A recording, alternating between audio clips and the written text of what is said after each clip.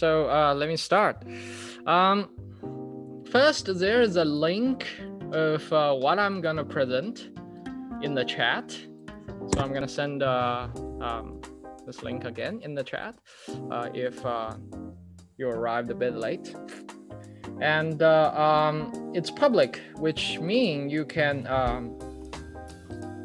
you can run whatever happens here um, on the cloud. So if you have um, registered on Kaggle, so you should see a copy and edit button uh, right right here in the um, in the right upper corner of this web page, and you can click that.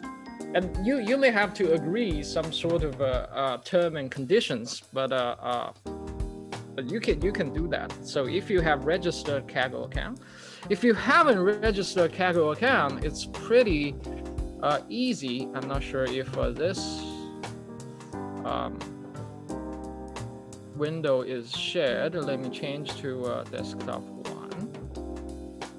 Okay, so this is now my desktop, and uh, you can see. Uh, so this is uh, um, this is Kaggle website.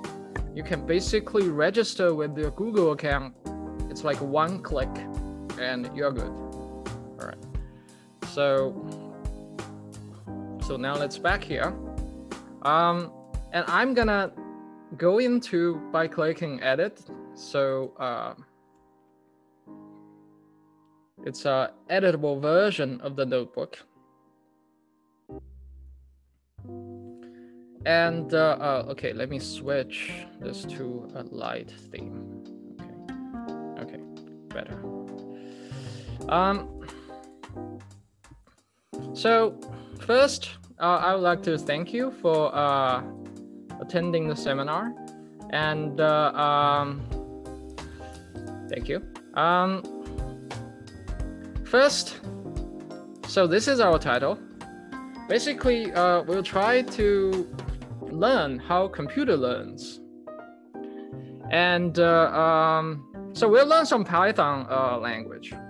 And during my preparation of this talk, I found actually uh, TensorFlow is more accessible uh, to someone who has never seen machine learning before. So I decided to use uh, prepare the talk using TensorFlow.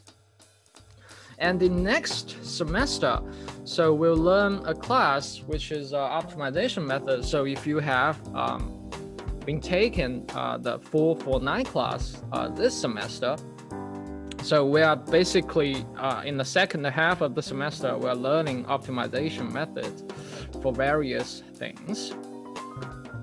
And first, uh, so next semester we'll we'll uh, we'll code our uh, we'll code our this uh, code in uh, Kaggle Cloud. And this is Kaggle Cloud. As you can see, we have a, it's in my browser, but uh, um, but it's in my browser but uh, um, as you can see it has a full dashboard for example I, I see my draft session I can see my CPU usage and my RAM usage I can stop I can try to add-ons and blah blah blah all right so this is a notebook style uh, Python programming and uh, why I'm saying it's notebook is because um, for example let me so um, it's because it's literally like a notebook. For example, right now, this cell is a markdown cell. If I double click this cell, so you can click here and uh, double click here and you enter the edit mode. You can see, you can, you can insert an image. Um, and uh, you can, for example, insert a link uh, you can make this part bold and this becomes bold. Um, and for example, uh, I can say, uh, welcome to our math seminar, all right? And uh, uh, if I hit control and enter, So you can hit Control and Enter on your keyboard, and it renders in uh, cell. And in next cell, this is a this is a code cell. Um, so why I'm saying it's code cell is because I can put Python code right here. So for example, um, if I click this little run button, it says uh, it execute the cell. So if I execute the cell, um, these two lines of code will be executed. And this pound sign is, uh, is in Python, it means a comment. So if I run this, okay, so these two messages will be print. So I can print even more advanced things. So for example, I can print, uh, I can use what is called f string. So this is called an f string. Uh, for example, I can say uh, um, 3 plus 2 is, and inside the curly bracket, I can put arithmetic um, operations here. Actually, you see that uh, this part is a string because it's in the double quotation mark. But inside the curly parentheses, this thing will be evaluated. You guys will see it's 3 plus 2 is 5. All right. So, and for example, in Python, um, if you have learned C or C++, you know that the variable assignment is quite tricky because uh, you have to specify the type, boolean, um, like an integer, float, and uh, in Python, it's simply like x equals 5.0. And we, we can see x is already in our memory, so we can uh, check if we can add a code cell. So we can check, we can print, for example, type of x and dir of x. So type of x is literally the type of variable x is, and dir is associated a function method with x. So, for example, if we hit Control and Enter, this code will run. Uh, let me add a new line here. So for example, uh, we can see that um, the type of x is a float and dir of x. So it has some of these uh, methods associated with it. And uh, for example, we can print, right now we can do two. And uh, if we have two asterisks, it means exponential. So for example, two to the third power, two to the third power, and we have eight. And we can uh, build functions in it. For example, f equals, it's called lambda. If I hit, if uh, I type lambda without this, uh, um, if I type lambda without this uh, comment block, you see that lambda changes color. It means uh, it's being highlighted. So I hit N. Oh, it doesn't do. Okay, so lambda x. Oh, it does. Okay, so and then x to the third power. So right now, this is literally like f of x. So for example, right now, this is uh, the function. And uh, um, in the next cell, we can literally evaluate this function using our uh, like literal evaluation uh, evaluation of the function. Um, so it's f of uh, x. So for example, if I want to do 2, we will get 8. Okay. Right here. Um, so for example, so next is uh, we want to go through some simple logic. Um, the thing is, the computer is good at uh, these logic things. Um, for example, right here, we let a equals 2, and the next cell we can check is a 2. So this means uh, we check check if a is 2. So, oh, why is that? Okay, here we go. Um, as we can see here, uh, if a is 2, then if I check a, if a is 2, so this equal equal means if a is 2, it, we will get true. But if we check if a 3, uh, Python will set it's false. All right. So um, now I said if we have, so if a is 2, let's print, and uh, um, A is A, okay? And else we do nothing, so we just print nothing. So for example, right here, we get A is 2, okay?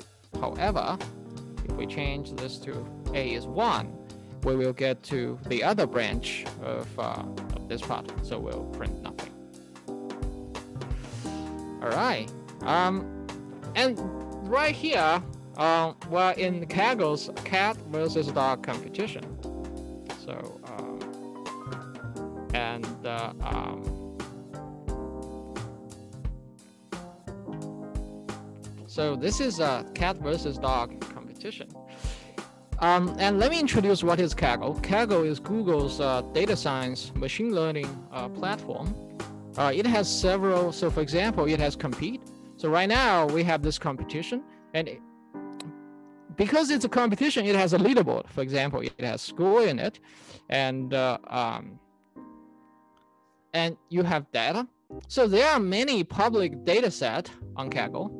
So uh, for example, you can have uh, uh, these are the current uh, most popular data set. You can you can also check the, the one with most votes.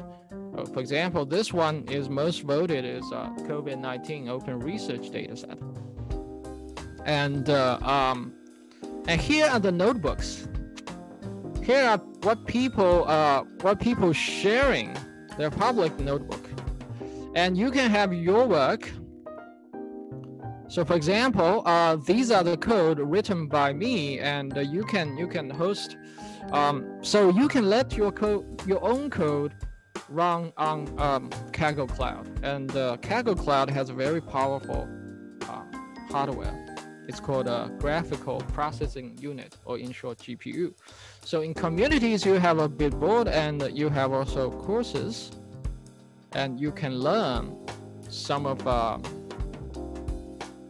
the intermediate and introduction machine learning. And actually, I designed some of my class uh, following uh, Kaggle's guide because uh, uh, I'm a long-time programmer, so sometimes I may not um, like uh, be putting in my shoes in my audience. So I learned some of things from these uh, elementary course as well. So if you are like to get into Python, you can check the course on Kaggle. And of course, it's free, so it's very nice.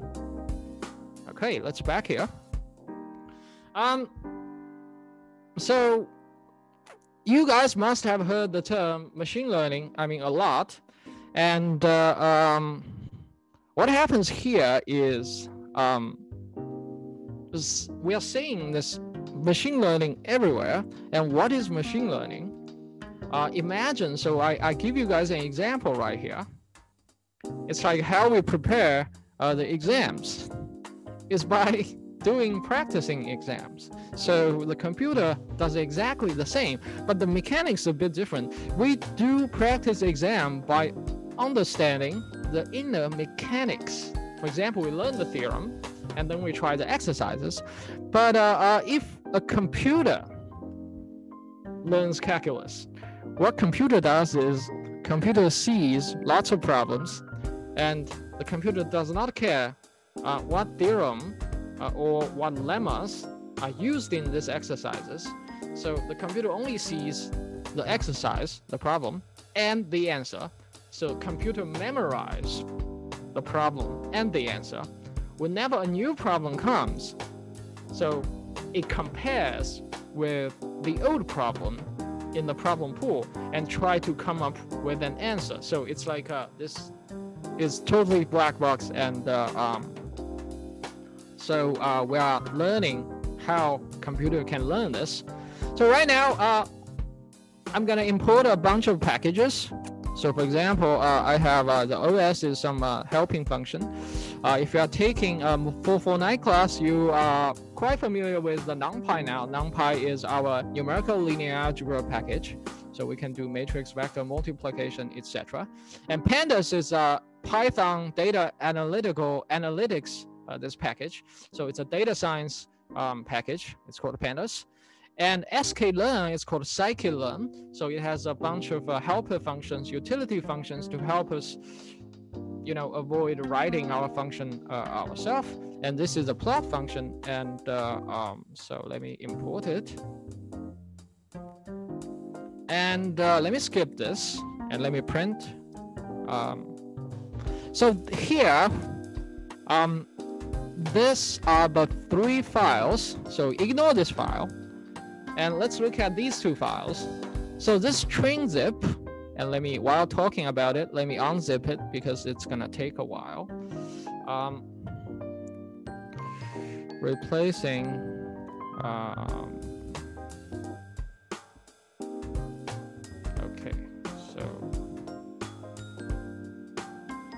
oh actually I already unzipped it. I see. That's interesting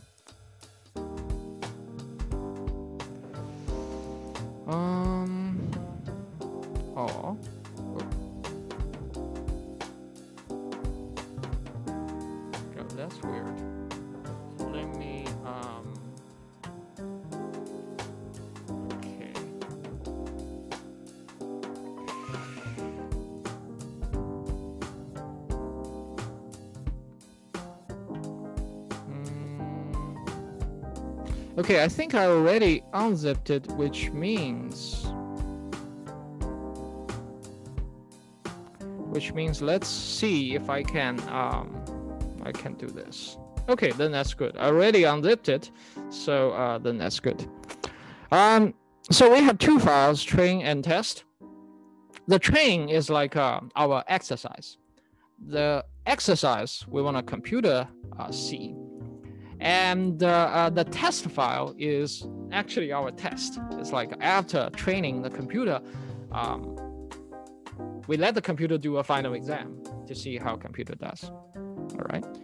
So and we have a bunch of uh, images. So a dog a cat and uh, um, the thing is first we need so these are uh, images and we need first we need to label the image. For example if so in the following uh, cell of code if we see a dog here we give this image and a label called one. Okay right here. If else so else here if the image has a cat in it um we give this image a zero. Okay so let's uh, let's do it so for example right here um, then we can see the uh, dog image here uh, the category is one and cat category is zero. Basically um, it's like uh, we have to let our computer to give we have to give our computer a more clear and concise instruction. So what we need to do is we change. This is called encoding. Um, we change um, the category from an abstraction to a number so we assign category a number and now let's uh, view a random image so we um, we load this function and then we run this cell, we'll see a random image. So for example, apparently this is a cat, all right? Um, and uh, for example, I'm I'm 34 years old. I've been seeing cats for 30 for 30 years. You guys may have been seeing cat for like 20 years, and uh, um, your brain already recognize what a cat is by just looking at the cat. But how? But have you ever thought about how your brain can tell a cat? Like right here. Um, like for example, what what is uh, what is a characteristic? What's a feature of being a cat? For example, it has two eyes, right? But human also has two eyes. I mean, it has a nose, but we also have a nose. So how our brain can extract some high level abstract features from an image is is like totally mysterious. So and how computer can achieve something similar is quite tricky. Okay, so uh, 20 years ago, let me let me say this. 20 years ago, by giving computer in a cat image and the computer can output one or zero depending on whether this is a dog or a cat. This is almost impossible. The computer may, it's like uh, the computer may not even be um, achieving much higher accuracy than a random guess. Let's say this. Okay. So if you just guess randomly, um, like whether this image is a cat or dog, it may achieve higher accuracy than a complicated computer algorithm 20 years ago. Um, but after um, what we called this deep learning was introduced uh, maybe 20 years ago, the picture totally changed. Um, but uh, the deep learning uh, hasn't been populated uh, since uh, I think maybe 10 years ago. It's because it's too hard to compute. So with some of the modern GPU technology, we're able uh, to train, or say, to make these models learnable so that these models can be deployed to tell whether this is a cat picture. For example, let's uh, let's run another. So for example, this is the dog apparently, but uh, the tricky part is it also has another person in this image, so it further complicates uh, the difficulty of uh, telling there's a dog in this image. So let's see another.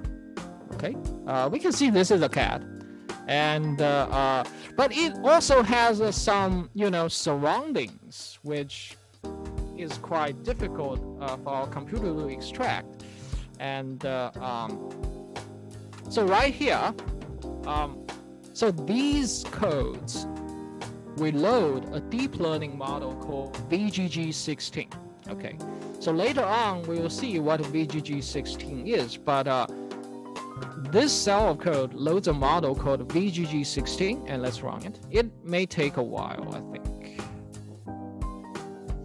Okay, uh, it's, it's good. So as we can see, this is our model. It's quite complicated. So each line here represents what is called a layer. So for example, we have one layer here and we have another layer here.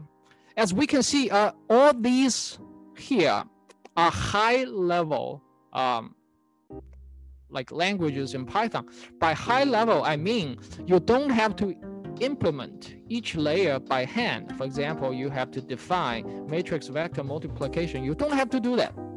Right here, um, what you just want to do is you call high level package like like this syntax. And uh, if we want to build the model ourselves, sometimes we just need to copy paste existing like implementation of layers and we can build a very nice machine learning model. So in the model summary of TensorFlow, each line represents a layer. And here is a parameter number. And what parameter means, this is basically a building block of our model. It means these parameter, we want the model see the data so the data can change these parameter such that the model becomes a better model. So right now, uh, the, the model is untrained, okay? So actually it's trained, but uh, it lacks fine tuning. Um, so it's we can just say it's untrained. So it's untrained, it means these parameter cannot lead the model to tell cats and dogs. And let's uh, let's uh, just as we can see, the parameter number of parameter uh, is 15 million almost. Um, so in the past, the training of this type of model is is impossible. So until the intro, in, introduction of GPU, uh, GP GPU computing, this general purpose GPU computing about 10 years ago, and it totally changes um, the landscape. So let's uh, let's load the data. So here is we just uh, um, we just load the data um, into some readable forms for the machine. So uh, so for example, we run this data. So uh, here is we uh, so these code I directly copy from TensorFlow official webpage. It's basically it's wrapping up the data into what they call uh, image generator. So uh, in 450, we'll learn what a generator is and then we feed the generator uh, to this data generator for the TensorFlow. Okay, so let's run this image. So this cell of code is just a bookkeeping. I just copied it from TensorFlow official page. Uh, we just convert our data to a TensorFlow um, this uh, format. All right, and next is we want to augment the data. So for example, what we do to augment the data is, for example, this is our original cat image. And we don't want our computer um, to cannot. So uh, if we rotate our image a bit or we flip our image, um, we can tell it's still a cat. But sometimes the computer cannot tell it's a cat. So we have to do this type of data augmentation so that the computer see the reflections um, the rotations of the same image so the computer will tell, oh, it's the same cat. And this is called data augmentation. Next is we use um, the data format um, we just had, and we convert the test file um, to the data format so that we want to test our model if the model can tell a cat is a cat, a dog is a dog. Okay. Um, and let me remind you guys again um, that I think this is zero, oh, one zero. Okay. So I think um, our setting is a dog is a one, cat is a zero. So let's, uh, see. And uh, um, so this may take a while. So if you're currently running, uh, it may take like 30 seconds, I think. Basically is we convert the test data to a format the TensorFlow can understand. So right here are just the sample codes I copied from TensorFlow uh, official. Um, that's how do we um, generate the TensorFlow format data from a pandas data frame. Okay, so we're done. Um, so we have our prediction, and we can see the test data frame. So originally, so as we can see here, it has file name, but the file name does not have a label associated with anymore. So in order to prevent the computer uh, cheating, we just don't include cat or dog in the file name anymore, and the computer has to see the image itself to tell if it's a cat or dog. All right. So let's check the prediction result. And dog is a one and cat is zero, remember. And so, uh, okay, so right here, um, this is a dog. Okay, it's good. This is a dog. It's good. Oh, this this is not a dog. So this is a dog. It's good. This is a dog. No. This is a dog. No. This is a dog. Apparently not. This is a dog. So right now for the untrained model, it's like uh, it's basically a random guess. By random, I mean it just guesses. It just guesses every image as a dog, right? Um, I mean, so right now it it hasn't learned yet. Okay. So the next is we have to train the model. So here we'll load a model that's being trained. So I trained using Kaggle Cloud a while ago, and uh, um, so we want to load it. Okay, it's the same model.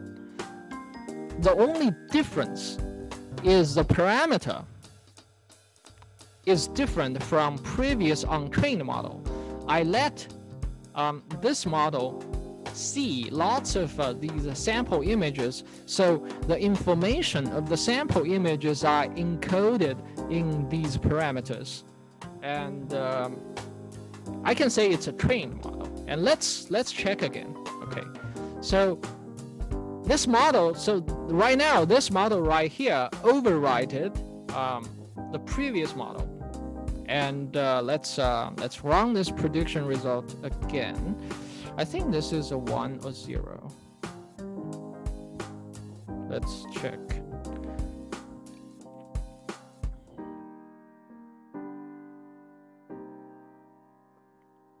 Okay, so it might take a while. So it has 64 images and uh, um, and the model will um, predict each one of them.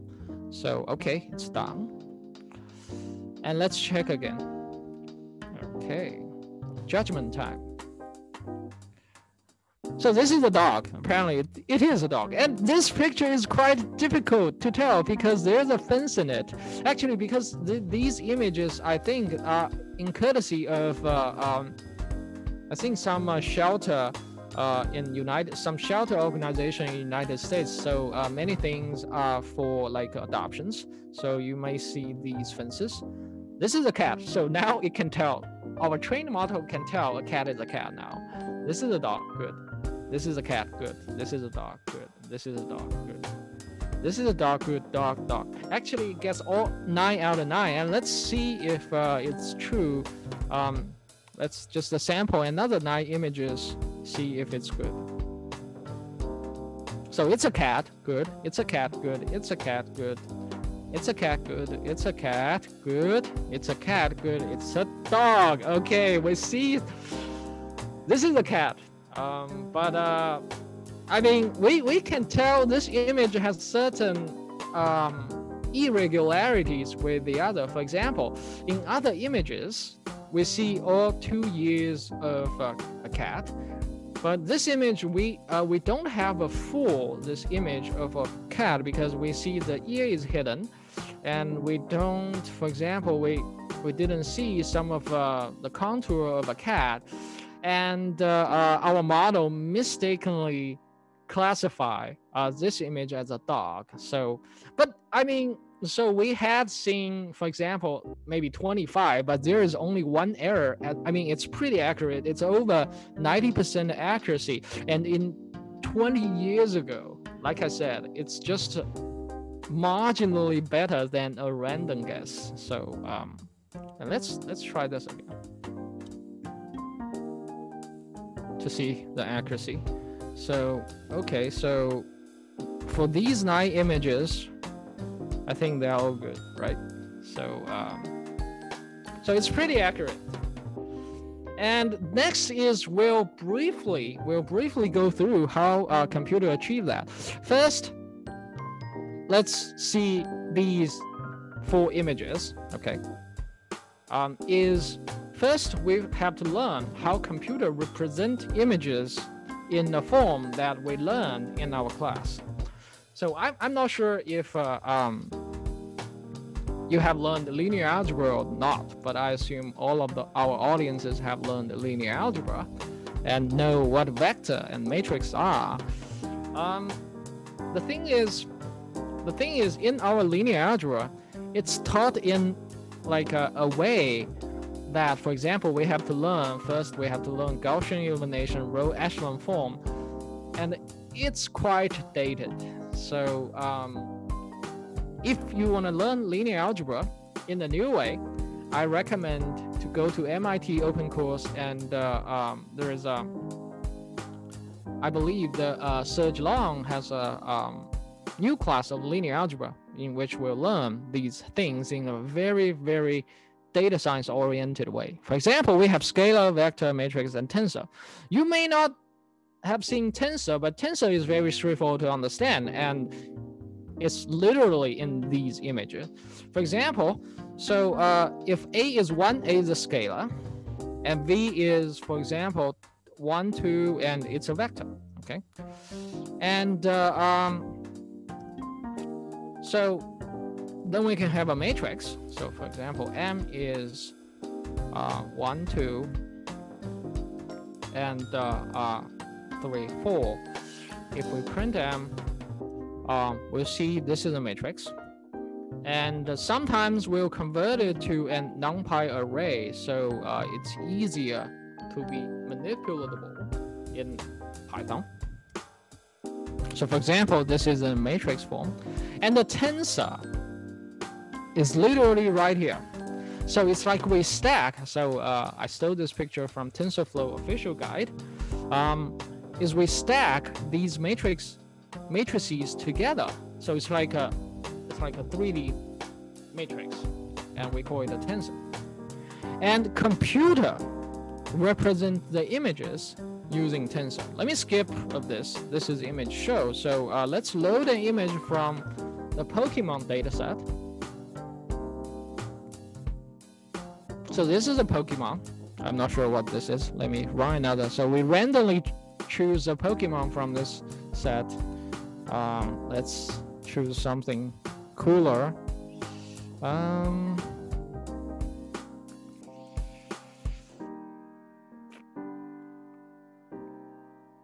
do we have some sort of a more fancier one? Oh, this one is fancy. Okay. I'm not sure what this is. Maybe it's legendary or not. I'm not sure. But uh, we have a Pokemon image, right?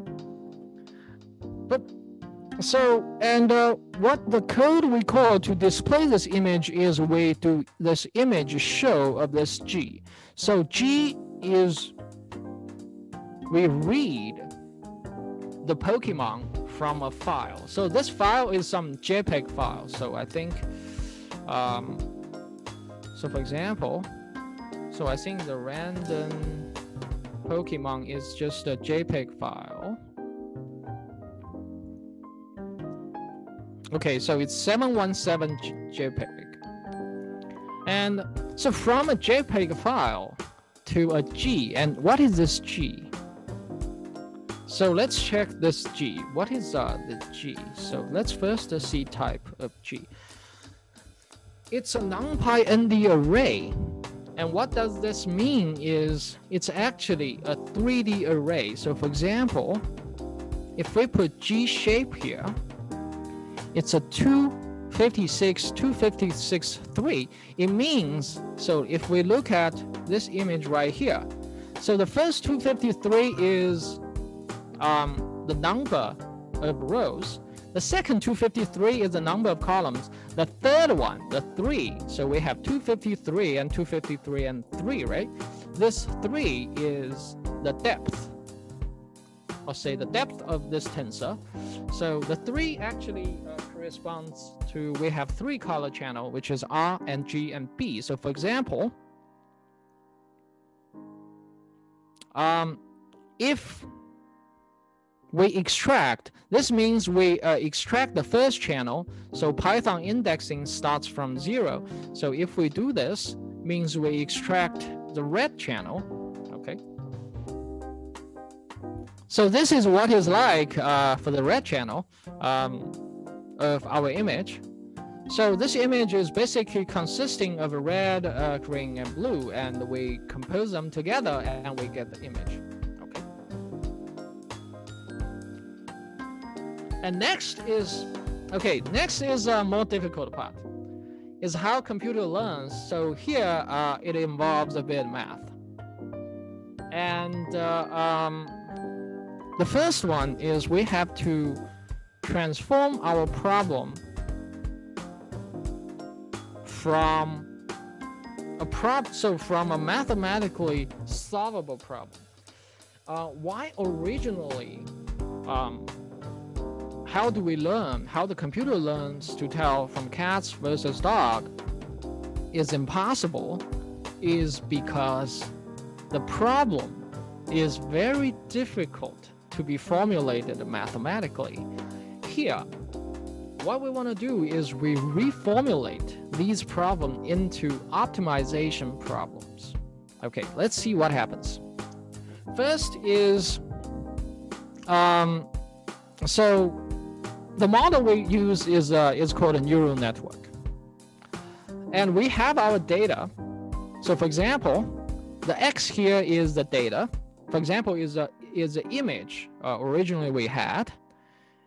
And this Y right here without a hat is the actual like the true label of the data. For example, this Y equals one if uh, this X is a dog and this y is zero if this x represents a cat. And right here, the y hat here, y hat here is our model's output, okay? Um, so the first thing, whoops. The first thing we want to see is if y is a, uh, a real scalar, then what we can do is we simply minimize the difference. This thing is y hat. So this is a prediction of our model, and this is y.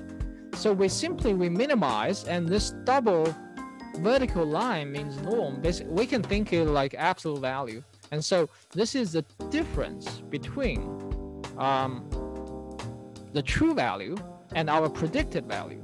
So, and the W right here is the parameter, actually, uh, are the parameters of our model because our model has millions of parameters. Um, the W here, okay, so what we want to do is originally the model function is a function of x. It's a function of data. So we give our model a data, we have an output. But here, whenever we want to train our model to be able to achieve these tasks is we use what is called a loss function. So the loss function is actually a function in the parameters, is we minimize the difference of our prediction with our truth by searching a good set of parameters. Okay. So as we can see uh, in the previous example, the untrained model, it has a bad W, but a, a good, a trained model, it has a very good set of a W and it can achieve, for example, very high accuracy uh, for the um, dog versus cat problem. And now what a neural network is like. So I, I think you guys might have seen this picture. So this is actually a neural network.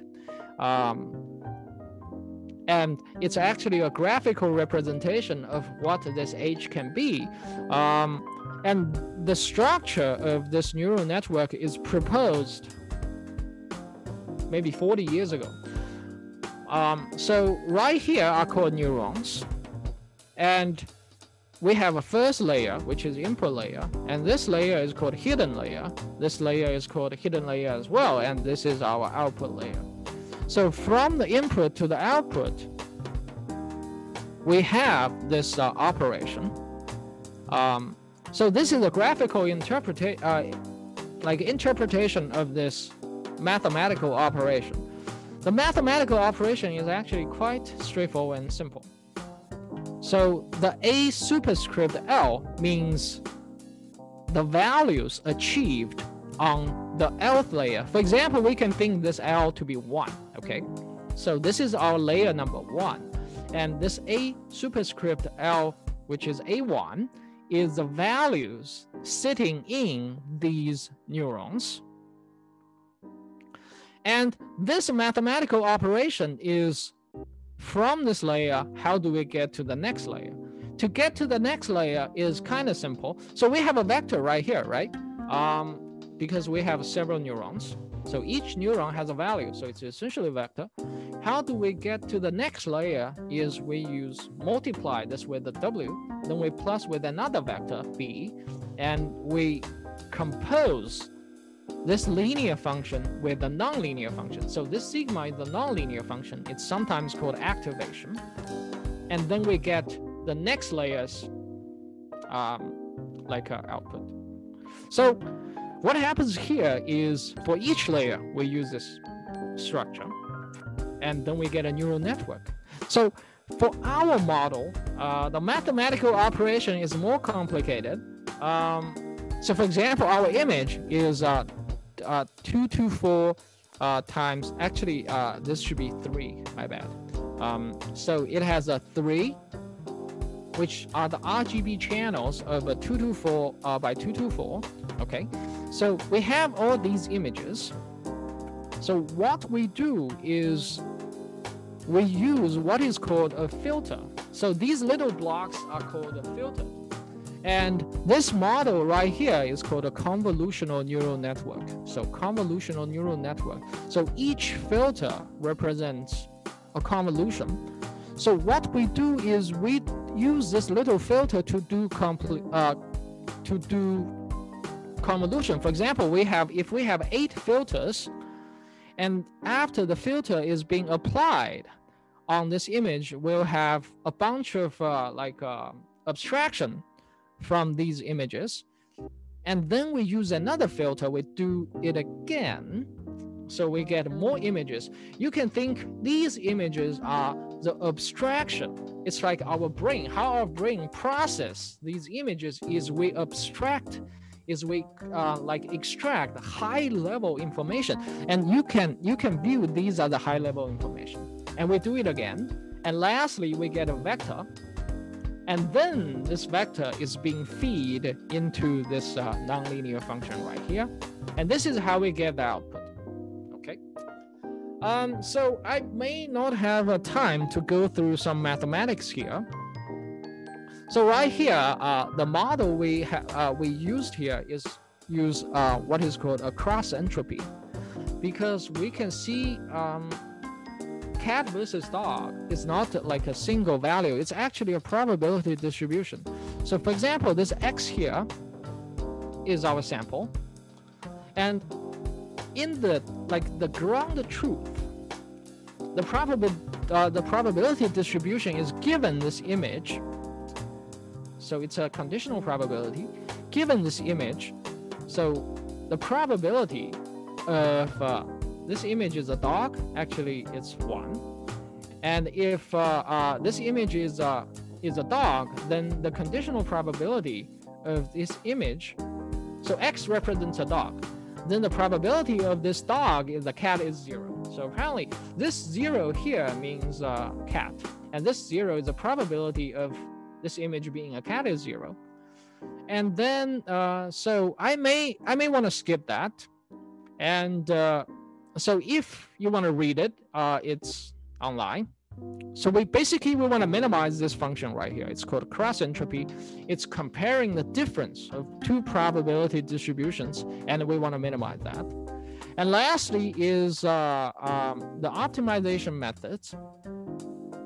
So in next semester, in uh, 450, we'll learn um, these optimization methods and how do we apply these optimization methods to train this model. So essentially, by training, we're solving this problem, this uh, minimization problem. Um, so let's summarize. Um, as we can see here, um, so if we want a computer to learn, first we have to represent our data to a format that computer can read. For example, right here. And uh, um, the deep learning model learns to tell cats and dog by uh, minimizing this function, which is called loss function. And uh, uh our VGG model, it's a convolutional neural network it's using these little filters to extract abstract features from the image. And lastly, is we basically we train this model uh, by this gradient descent algorithm. So, um, and lastly is we will learn how to code these in uh, 450, but uh, uh, in a different package. So it's uh, in PyTorch and it's more resembles um, NumPy, which we learned in 449 this quarter, this semester. So uh, that's it for the talk. And uh, uh, now I guess it's question time.